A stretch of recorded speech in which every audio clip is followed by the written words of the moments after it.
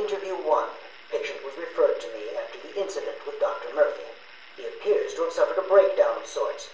I believe it was brought about after the loss of his wife and child. As yet, the patient has been unable to speak. Continued observation shows little mental activity. It's as if the shock of what he saw triggered his mental collapse. There's someone in here!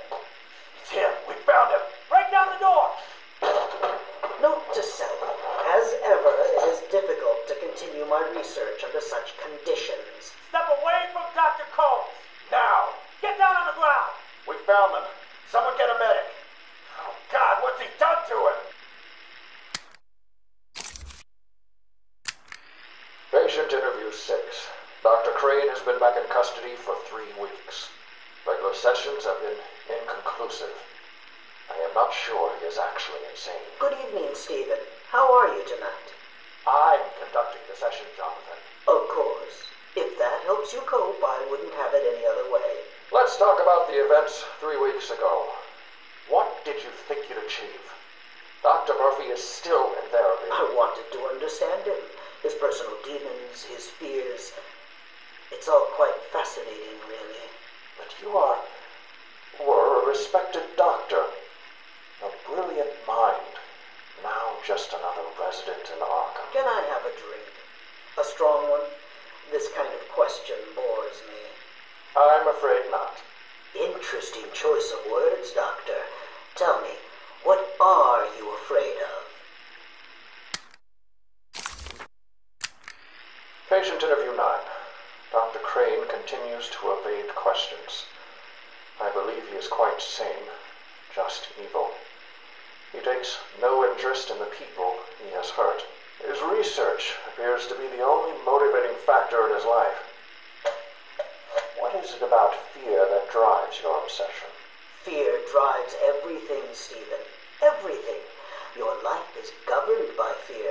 Every decision you make is a product of that fear. Don't be ridiculous. You married your wife. Margaret, isn't it? Because you were scared of dying alone. You have children because you're scared of leaving nothing behind that really matters. You go to the doctors because you're scared of dying. Do I need to go on? No. I think that will be all for today. Guards? Today I have another interview with Crane. I cannot say I am looking forward to it.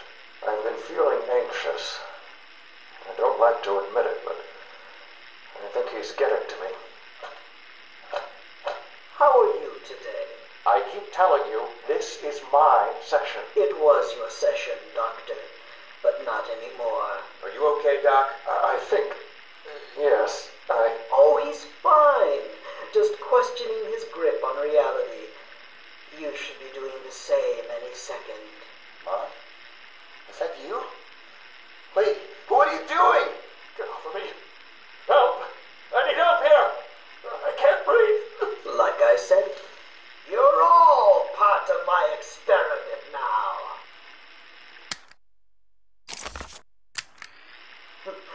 Asylum interview one. My experiment is underway. Working alone, I have created my ultimate fear gas. Its potency, a revelation. Ah, ah, they're all over me! Please, Daddy. Don't do it! Ah, ah! Good boy, good boy, good boy. I have pumped enough gas into the medical center to break a hundred minds.